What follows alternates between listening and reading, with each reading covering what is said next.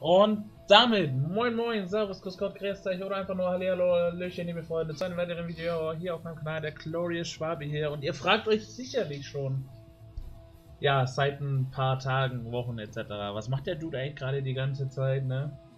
Es ist tatsächlich passiert, dass so der Fall eingetreten ist, dass Dragon Ball Legends gerade sehr, sehr, sehr zäh ist und ich mich sehr, sehr, sehr, sehr hart motivieren muss, und zwar so hart wie noch nie.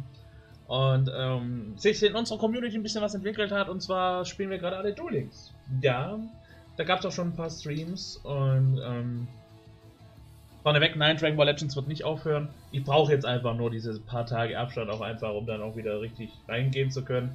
Ich denke, man kennt das äh, von Dragon Ball Legends, das muss ab und an einfach mal sein.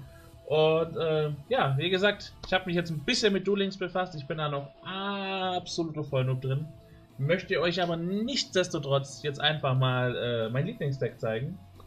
Und ähm, ja, das Galaxy Eyes äh, Photonen Deck nämlich aus dem Event mit Kite Tenjo. Und ähm, ich muss ja sagen, bevor ich jetzt Duel Links gespielt habe, habe ich mich 0,000 mit äh, Sexel befasst.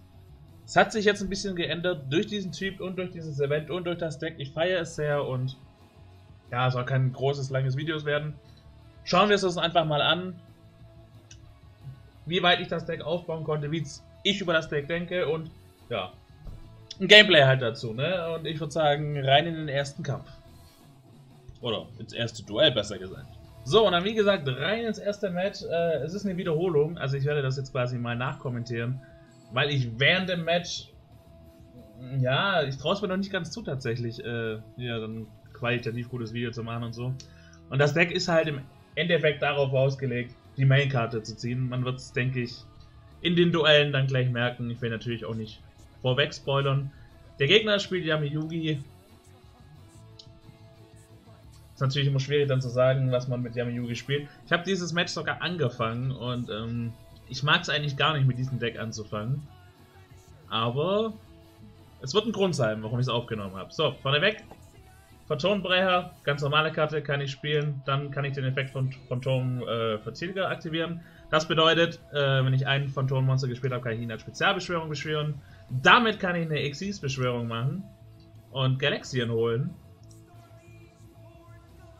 Und Galaxien ist dafür da, um den Photondrachen zu spielen. Und damit habe ich im Grunde gleich meine zwei stärksten Monster auf dem Feld. Ich werde jetzt für dieses Duell auch einmal ja, die Animation durchlaufen lassen, weil ich die einfach sick finde, muss ich mal dazu sagen.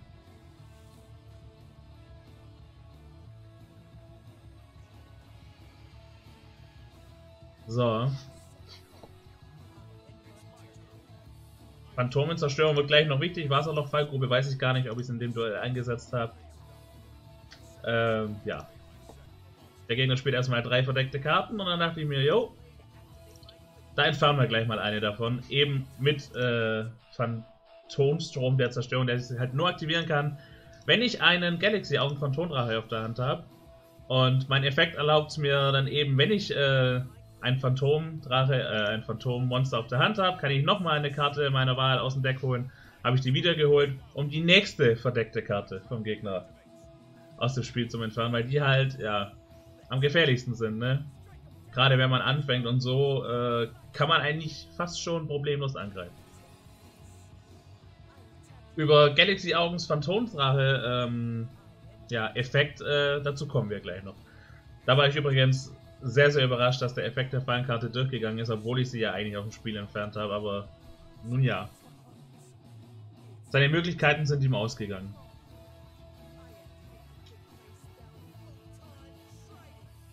So, Phantomdreit sagt, glaube ich, sollte man im Meta-Deck an sich, ist das glaube ich nicht drin. Ich habe es jetzt mit drin, weil mir noch ein paar Karten fehlen. Damit kann ich mein Galaxy-Augen ausrüsten, 700 stärker machen und wenn dann die Karte auf den Friedhof gelegt wird, kann ich noch eine Zauber- oder Fallenkarte zerstören und ja, damit hatte ich sein Feld quasi weg. Auch wenn er sich jetzt noch ein Monster geholt hat, um sich zu schützen.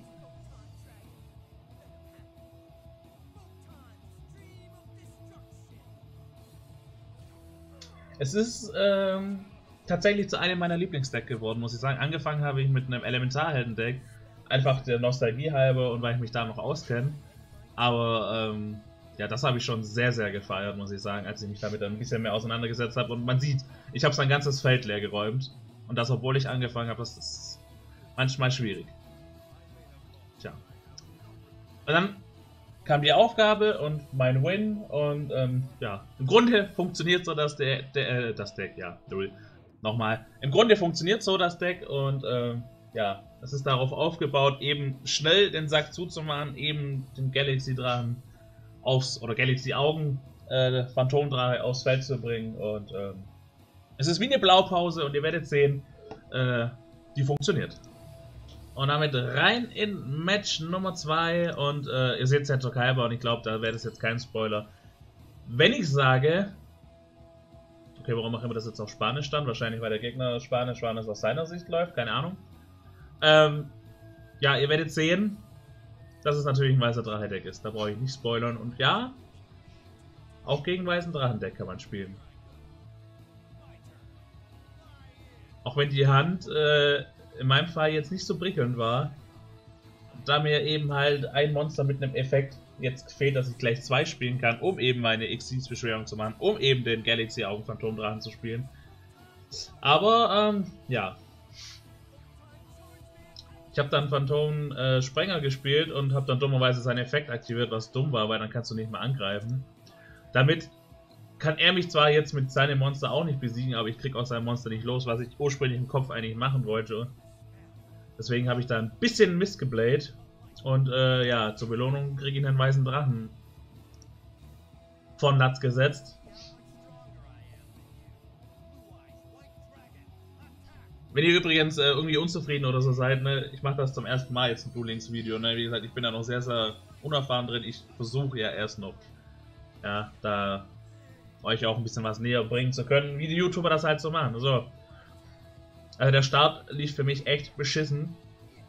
Dann kam aber, wenn ich mich richtig erinnere, genau die Karte, die ich brauchte. Und ja. Dann ging es eben wieder los, ne? Vier Sterne Monster spielen, Spezialeffekt aktivieren beim Monster, Spezialbeschwörung, X-Beschwörung. Dann den Galaxy Augendrachen holen und äh, ja, los geht's, ne? Dazu habe ich noch den Effekt von meinem Char aktiviert, dass ich mir eben wieder Phantomstrom der Zerstörung holen kann.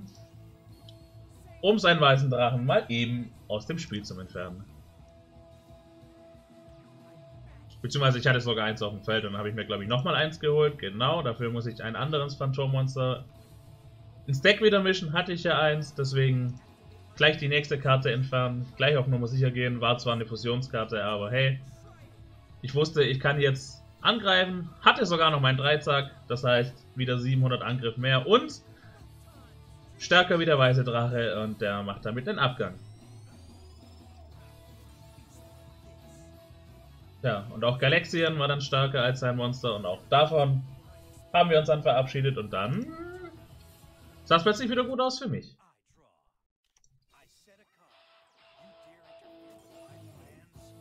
Und dann konnte er nichts mehr machen und hat aufgegeben, weil er seine weißen Drachen halt dann auch so nicht mehr spielen konnte, weil seine Fusion und seine Fallenkarte aus dem Spiel war und Win für euren Boy und ähm, ja. Ein drittes Match habe ich noch für euch. So, und damit dann rein ins letzte Match gegen einen Jaden Yuki Spieler und ich kann schon mal sagen, es ist ein, ja, ein Heldendeck. Und äh, das Match hat mich sehr überrascht, muss ich gestehen, aber ähm, ja, schaut es euch einfach an. Erstmal gibt es wieder ja, Combo-Time. Ne?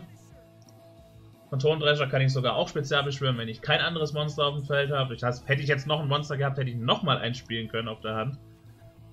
Aber äh, ja, hatte ich nicht, macht aber nichts. Ich konnte meine Combo wieder starten. Was immer ein bisschen doof ist, wie gesagt, wenn man anfängt, weil der Gegner halt darauf reagieren kann. Ich mache es lieber als zweites und One-Journey ihn dann, im Idealfall.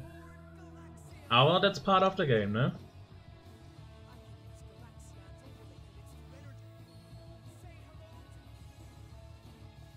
So. Damit wieder die starke Combo auf dem Feld. Und ich hatte so ein Gefühl, deswegen habe ich mir Spiegelgrab einfach mal auf der Hand gehalten. Und ihr seht jetzt auch warum.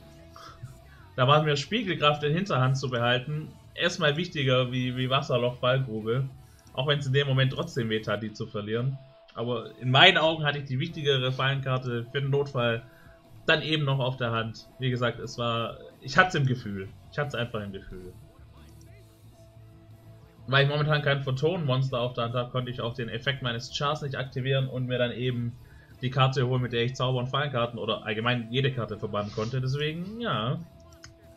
Spannend. Er macht dann ganz viele Sachen mit seinen äh, ja, Visionshelden. Visionshelden bin ich tatsächlich schon wieder raus. Kann ich euch gar nicht so viel zu sagen. Auf jeden Fall ist es natürlich auch darauf ausgelegt zu fusionieren und äh, ja. Das ist ihm dann auch gelungen. Und das hat mich ein bisschen vor dem Problem gestellt. Dachte ich zumindest, aber ich. Schauen mal. Visions Held Anbetung hat jetzt mein Galaxy Photondrache erstmal hart geschwächt mit seinem Effekt. Und damit wirkt er dann eigentlich useless, aber in meinen Augen hat er dann den Fehler gemacht. Aber das seht ihr gleich.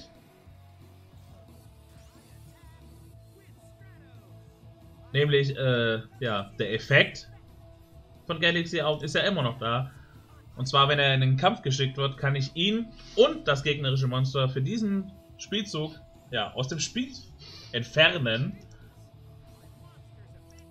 Und ja, er hat dann nochmal fusioniert, er hat es dann nochmal geschwächt, aber es ändert nichts an der Tatsache, dass ich den Effekt aktivieren kann. Beide weg sind, ich dann zwar den Damage gefressen habe, in dem Moment aber beide wiederkommen durch den Effekt und ich meine volle Angriffsstärke eben wieder habe und ja, durch Galaxy Augen jetzt halt im Vorteil bin, ne?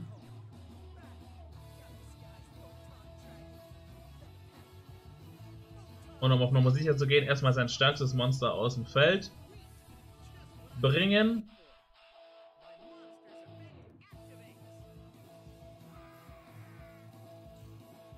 Okay, er hat meine Fallenkarte zurück in die Hand gebracht, das ist in Ordnung. Ich wusste gerade selber nicht, deswegen war ich kurz so still, was in diesem Moment passiert ist. Hat ihn viele Lebenspunkte gekostet. Ich weiß gar nicht, ob sich das wirklich gelohnt hat für ihn. Damit habe ich das Duell dann wenigstens, aber ich sag mal, ja, ausgeglichen. Und äh, ich wusste in dem Moment, dass er auf die Dreierfusion geht. Und ja, im Grunde den Fehler einfach wiederholt. Klar, Trinity hätte mich gewone-shottet. Gar kein Thema. Aber er konnte halt wieder nichts gegen meinen Effekt tun. Und er musste ja mit Trinity den Galaxy-Augen angreifen, deswegen beide aus dem Spiel entfernt. 1800 Damage zwar gefressen, aber er hat sich damit quasi selber outplayed.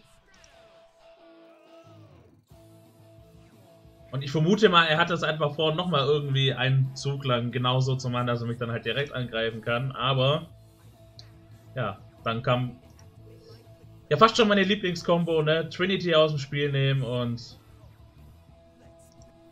Stratos besiegen, Damage machen und im Grunde wusste ich in diesem Moment dann, hey, ich habe das Duell umgedreht. Er kann nicht mehr viel machen. Und deswegen ist es, ist, das ist für mich so ein bisschen, sage ich mal, der Nachteil am, am Heldendeck, ne? Du hast wenig Effekte, wo du äh, Monster so an sich zerstören kannst oder Fallen und Zauberkarten loswerden kannst. Und äh, deswegen war mein Galaxy-Augen von Tondrache quasi ein unüberwindbares Hindernis für ihn durch seinen Effekt. Selbst wenn er 5000 Angriffspunkte mehr hatte. Und deswegen hat er verloren. Und ähm, ja, das war im Grunde auch schon das ganze Video. Ähm, wie gesagt, es war das erste Mal, dass ich ein Duel Video gemacht habe. Ich hoffe, es hat euch gefallen. Ich hoffe, ähm, ja, ihr guckt auch zu beim nächsten Mal. Es gibt auch wieder Legends Streams, äh, es gibt auch wieder Legends Videos, wie gesagt. Ist halt gerade so eine Downphase. Aber ich habe ja schon, schon seit einem Jahr oder so, sage ich, ich suche ja immer wieder mein Nebenspiel. Vielleicht haben wir es ja jetzt auch endlich gefunden. Und ähm, schreibt mir eure Meinung zu dem Deck rein. Und ähm, Ansonsten gibt es nicht mehr viel zu sagen. Ade, es war wunderschön. Danke fürs Zuschauen und tschüss.